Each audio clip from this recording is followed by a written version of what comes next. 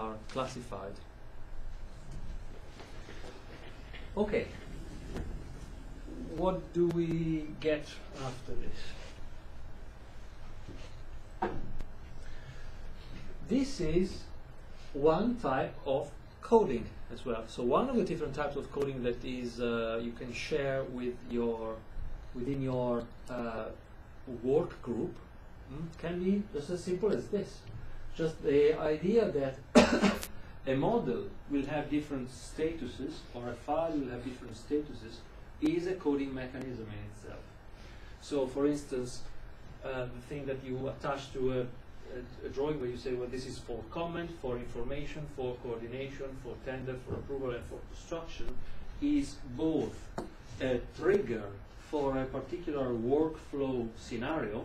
So a workflow automation could result in you um, having the file automatically visible to somebody else or not if it has reached the for information or for comment status and maybe will be hidden if it is for review because it's, it's not visible already to the other parties or any other way of, of classifying this. Uh, now, what this constitutes is in itself a library okay, agreeing on some values for the codes and the meaning associated for that is in itself as a little library.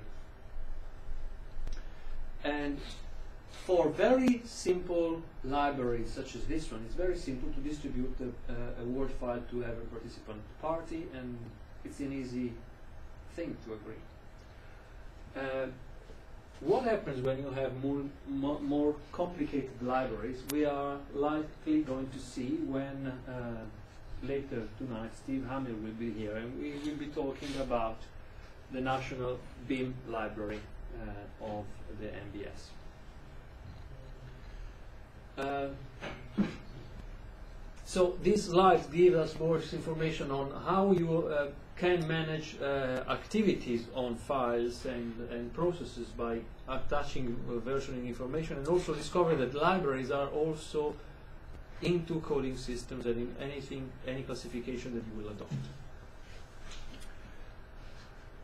Another important aspect of uh, that is much, much more complicated or potentially much more complicated when it comes to uh, building information models than it could be in other for in other forms of collaboration or collab communication or coordination is the fact that uh, if we push the limits of what is the ability of people to edit edit information um, and if you have shared repositories for people. It might be that every at every moment in time somebody might be doing some modification, one might be updating a few bits, uh, updating a few walls, update, updating a few windows, and so on. So the model of the building will continuously change. Otherwise, you will not be working. That's your job as a designer at some point to make all the editing to the drawing. Now, traditionally, this was solved by just keeping things still for a long time and issuing new drawings every, uh, every given interval in time. If you're working in a shared environment, um, and particularly if you're working in a building information modeling application, whenever you move a single element inside the whole model, a lot of different drawings will be impacted by that. So if you change a wall uh, in a section, in, in, in, in, a, in on, on, layer one, you, it might be that uh, the plan will change, the elevation will change, another section will change. So everything in the model will be coordinated and all the possible representation of that will be updated. So it becomes much more complicated to know what must happen once this changes are triggered. Now, in uh, computer science, uh, in computer science, in software development, uh, this has been a problem for a long time because people have been using uh, have been collaborating on software development for much longer than they have on uh, on generic uh, on, on construction, really, so on building information models. So traditionally, what would be a mechanism to do that is to uh, get some bit of information, and this is the shopping list that we are designing at this moment. Get some bit of information, check it out, which means take it out of the shared repository with everybody else and put a lock on it. So you say, well, right now I am editing this file, and right now I am uh, so I, I, must prevent somebody else to make contemporary changes because if they did, there would be a clash with the changes that I am putting in. So I, I get this milk, eggs and juice and change it to milk, eggs and soup, but this might not be a, an instantaneous change. I might take some time to think about it, I will have the file open for some time, make a number of changes, and then I will be working on a working copy. At some point though, uh, the system will be able to recognize that there is some sort of uh, that I'm happy with the changes that I've made. So after having checked it out, I put it back into the main trunk, in the main process of the information, and release it for other people to read again.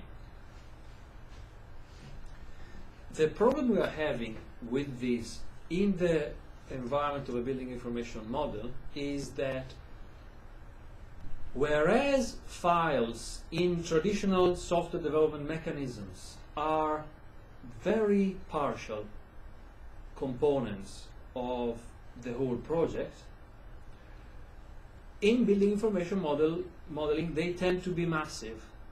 I'll try to rephrase this. So a software application is generally composed of, from a software development point of view, is generally composed of maybe hundreds of files and what happens here is that you just lock one of them, which is the one that you're working on temporarily. So a lot of other people can go on working without noticing any um, problem on all the rest of the environment.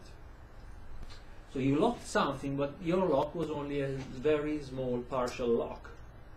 So many people could have gone on working on, on their business.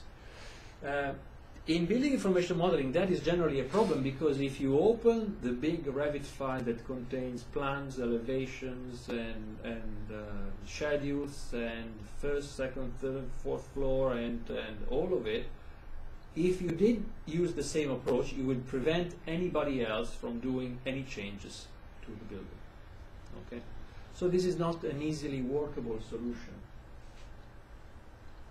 So there are a number of problems that could happen if you try to prevent this locking mechanism, so you want to make changes to whatever you need to change without stopping somebody else from working on it.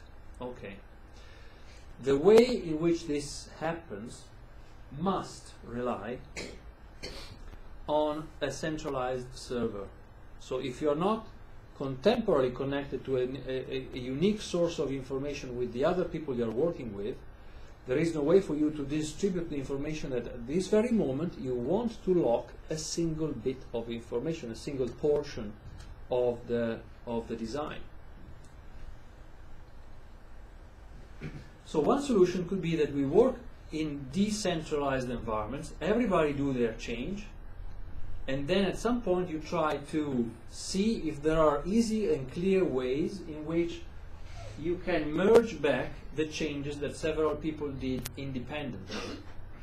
So I was working on this project, you were working on this project, we had two copies of the file.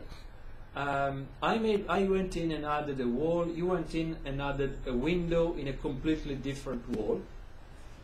The system could theoretically recognize that the rest of the building is completely identical. So it will generate a new version of the, the design where uh, there is one wall added and a new window to one of the other walls that were already there. And this will result in a successful merging operation where you get make uh, uh, some changes and uh, and multiple changes by different people can successfully coexist. So I add the bread, somebody else adds the the rice. All together, the rest will be we need to be do, to buy milk, eggs, soup, bread, and rice. That's an easy and feasible thing. But if I I can think of conflicts where I go in and change this table to be a square table. You go in and change this table to be an oval table, and the system will not be able to tell what shape the table will eventually be because there are conflicting changes that we both put in. Uh, so, the some of the applications that you will see on the market are somehow capable of dealing with this level of locking. Some others won't. So in, your BIM execution plans, you will want to investigate if the workflow that you envision is compatible with uh, contemporary editing processes.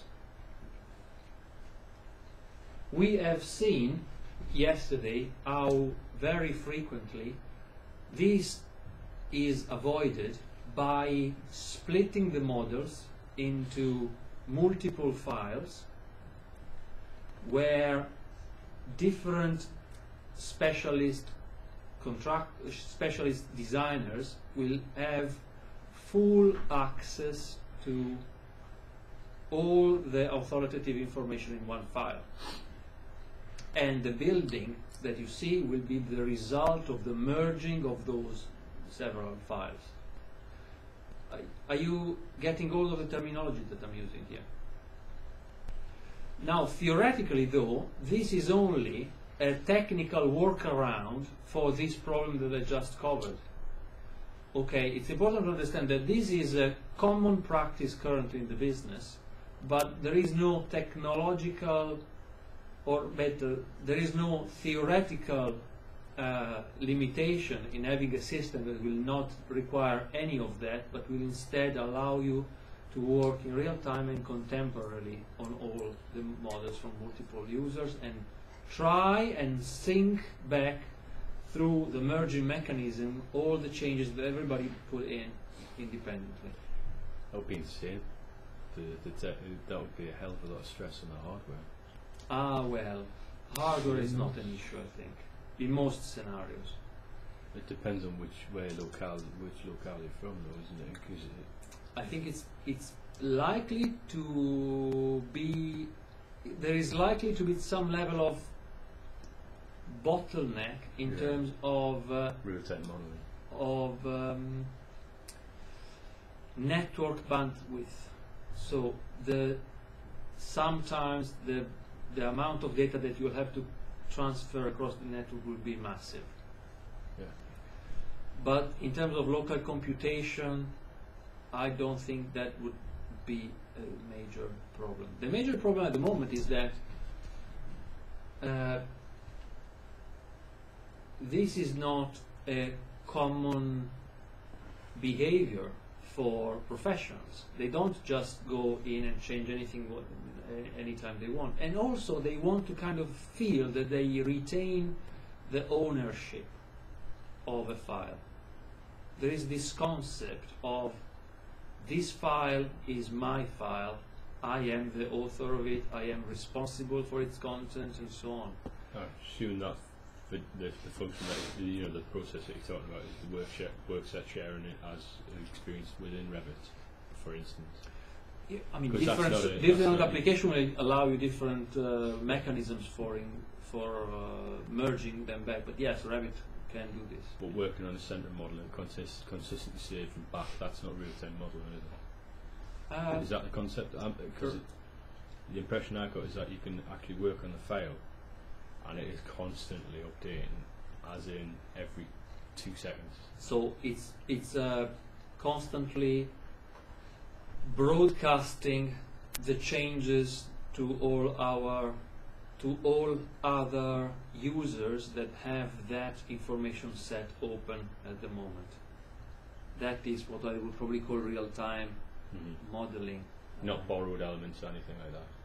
Borrowed? Not you know, it's not the work sets and borrowed elements that type of thing, is it? Um, I don't, that's- I'm not getting the. Uh, uh, you've got a centralized model. Okay. You've got two, you know, you've got three local copies. Okay. Say if I'm working on the wall, uh, if I want to put up a window and not at that wall, uh, but I've got it logged out. But if I save back to central, she takes. You know, Well, if it's not concurrent, there is no problem, okay? If you do move it first and then you save it back and then she downloads it and puts a window in, that that's not an issue. but that's not the The only problem is all when these activities happen concurrently, so they happen between, uh, you know, in the same time interval between two synchronization moments with the central server.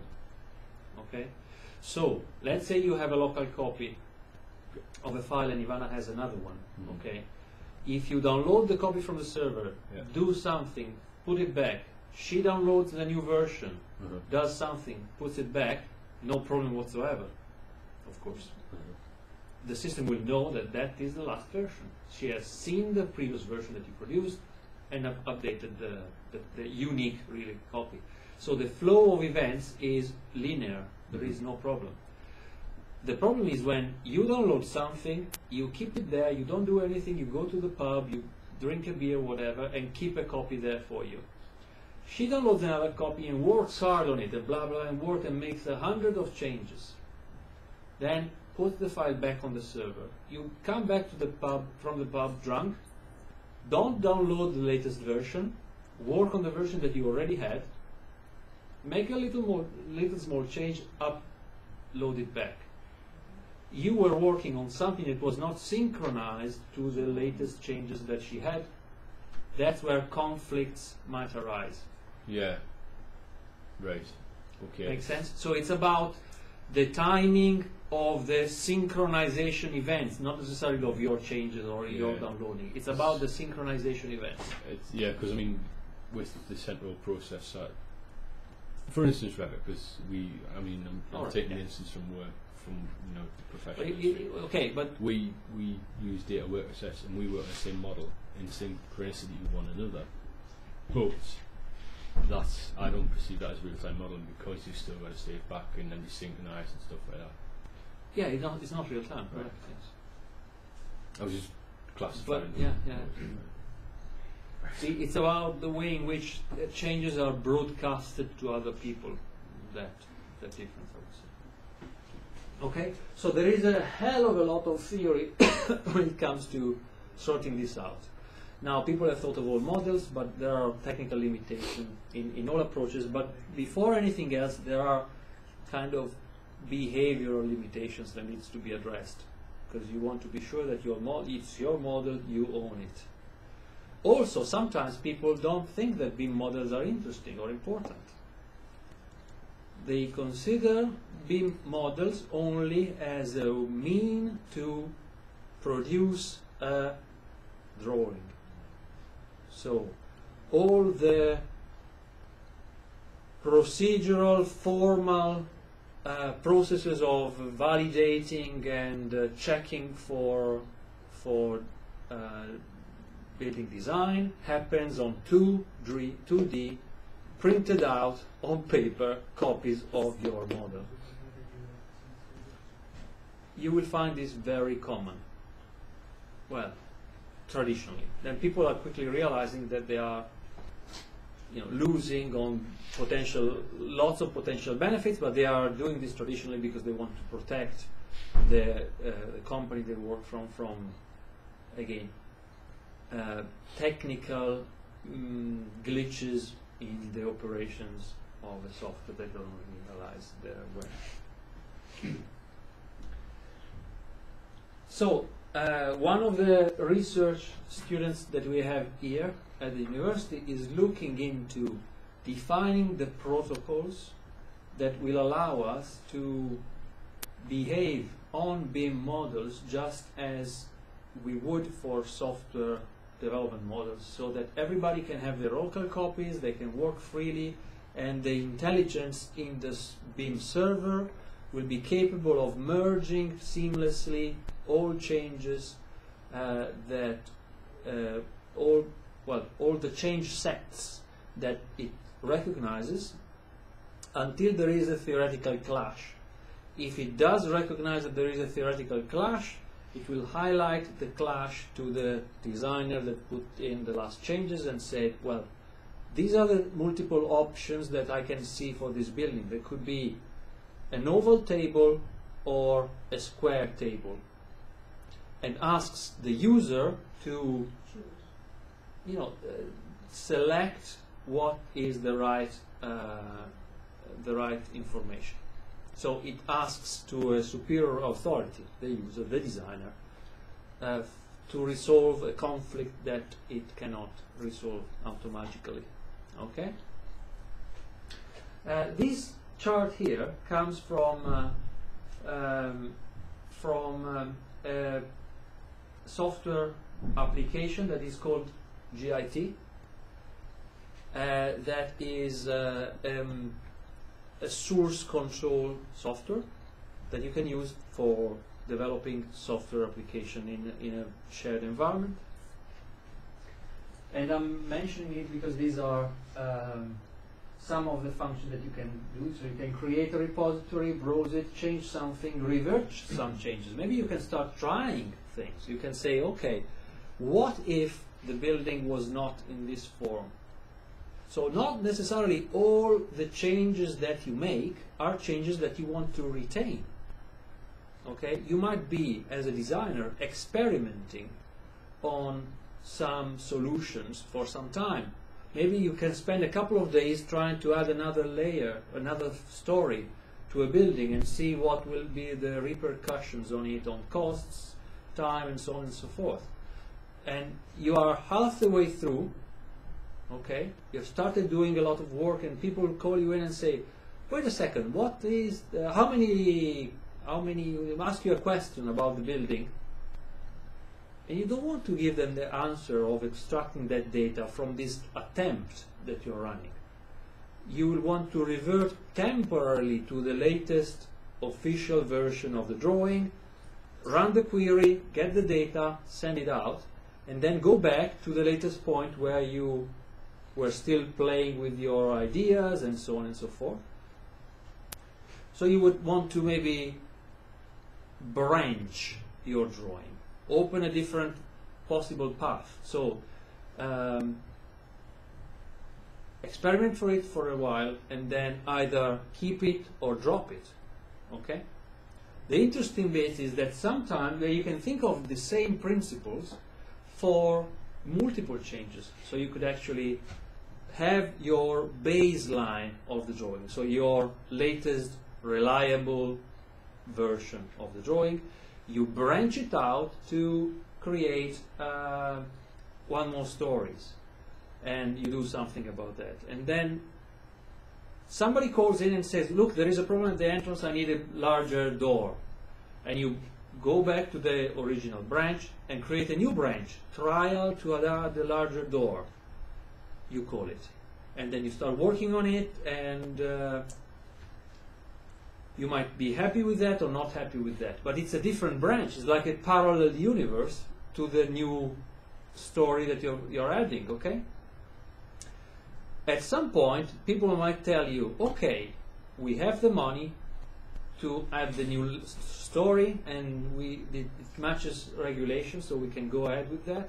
And somebody else will tell you, okay, the clients have seen it and they are happy with the larger door at the entrance. So since we, these were two bifurcations from the original drawing, you don't have any place in your universe where they both coexist. So you want the system to be able to um, well, branch, but also merge. That should be somewhere Yeah, merge. here. So you want to be able to kind of bifurcate and then pull that change set back and the other change set back. So all of a sudden you have both um, innovations into your drawing, and everybody else can say, okay, brilliant, we now have a solution with a mo one more stories and a broader door. Okay? These, uh, this is technology that we are currently working on. So in your building execution plans, it's unlikely that you'll be able to say, we don't have any problems, we have this brilliant technology that solves it for us, but this is temporary. So, on one hand, we have to give you the technical ability to go out and define a building execu- BIM execution plan that is workable today, but on the other hand, you have to keep an eye open on updates and technological changes that are uh, uh, have been developed or are being developed uh, right now because in five years' time things will change. So you have to keep an eye open on this.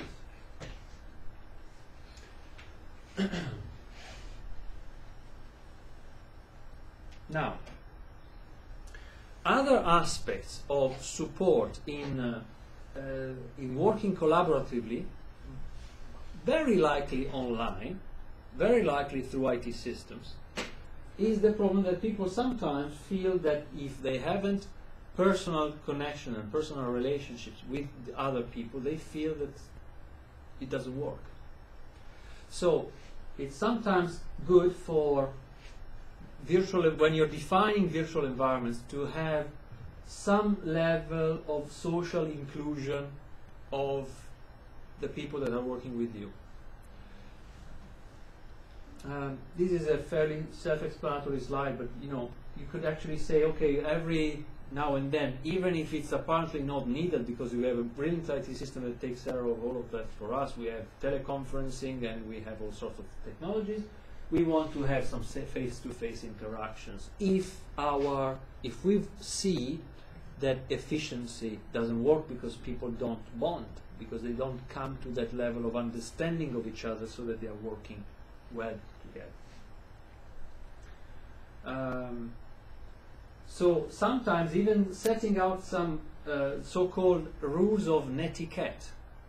Have you ever heard of this term, netiquette? So it's netiquette. Etiquette is the traditional French word for being polite and being elegant and doing the right thing at the right moment, right?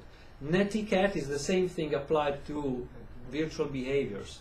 So when you go online on a chat, you don't use capital letters because people perceive that to be screaming. You, you, you knew that? You had, yes? So capital letters are shouting, okay? Uh, and sometimes people get really offended by that. You have unwillingly the caps lock on, Yeah. people get offense. They do. They honestly do. So, and I'm not, I'm not uh, kind of mm, trying to make a joke about this. They, they have, I mean, we are people, we have feelings, we have habits. So, netiquette is not just about this petty th- stuff. It's also about the things that you are advised to do before you post a request. Okay, you don't want people to be nagging around and in the forum that you set up to exchange information. They go and ask questions to everybody. So, where do I get that file? Where do I get the other file? You set up an etiquette that says when you have such a question, first you go to our, our frequently frequently asked questions session section. You see if somebody has already answered that query. Then, and only then, you go and ask the question in the open forum. If you can't find the answer, okay. Uh, so these are important in when you have significantly si- significant proportions of the communication happening virtually. Uh, and of course, you need to include training, uh, uh, training uh, sessions and training evaluation sessions. Uh, it, this was quite well covered yesterday during the session. Visual identification. Uh, that's subjective, but some people would like to know what's the face of the people that they have contacts with very often. And uh, you know, I've just been working on a project, and I honestly have no clue of the faces of the people that I've met, I've worked on, I have worked with for six months. Most of them, I have no clue whatsoever. I've called them, I've sent emails, I've sent fax, I've sent materials through uh, through um, express couriers. If I bump on them on the street, they mean nothing to me. I have never seen them. So, I can work in that environment. Somebody else might have troubles working in that environment. These might be things that you want to consider. Um, and cer- certainly, you have to include some level of participation into the negotiation processes for people. Particularly in virtual environments, if you just drop institutionally workloads and work frames and workflows on top of people without them having any saying into whether they think it's efficient, not efficient, difficult, if there are better ways of doing that, that will come back to bite you very soon. So these are all things that you should consider in the definition and in the progression to the definition of your Execution planning. And uh, again, there are a number of advices here. Uh, the last uh, that I think is probably important uh, is the creation of an online community that tends to be, go beyond the basic, uh, the basic uh, needs for the project. To see maybe if uh, coordination can, or collaboration, whatever. I, I always bump the terms. You know that already. Uh, can be established for future longer benefits.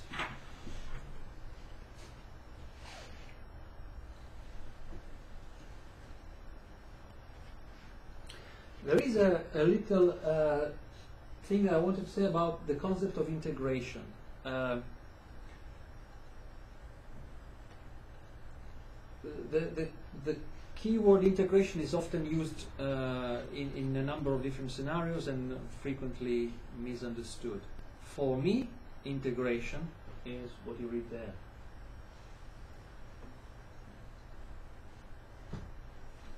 The keyword being with no human intervention.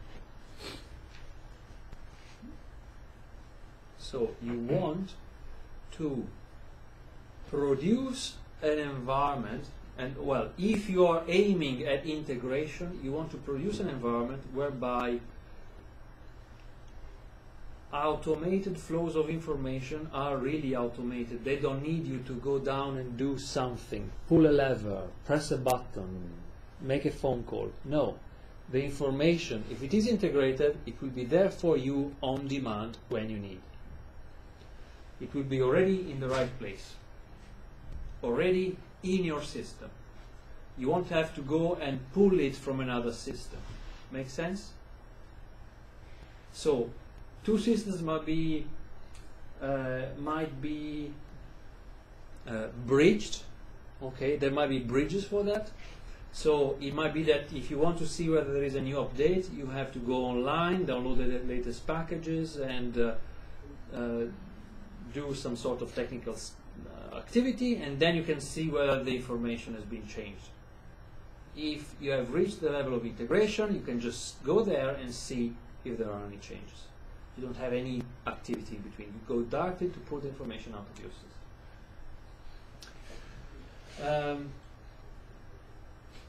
Um, yeah, Ten minutes. yeah. We have talked yesterday about the idea of um, 4D sequencing, so the activity of planning in 3 in 3D for. And I had uh, an idea to ask you to uh, have a little exercise about that. How many of you have done this before? Okay, what have you done? You mean uh, timing, timing the Time- 3D model? Yes, but ideally connecting a 3D model with a Time. Gantt plan or something like that, which is the most sophisticated I have to do it separate, never coordinate. I have to do the Gantt plan for one side and the Okay, so you never reached the point where you could see something like this on screen. Okay.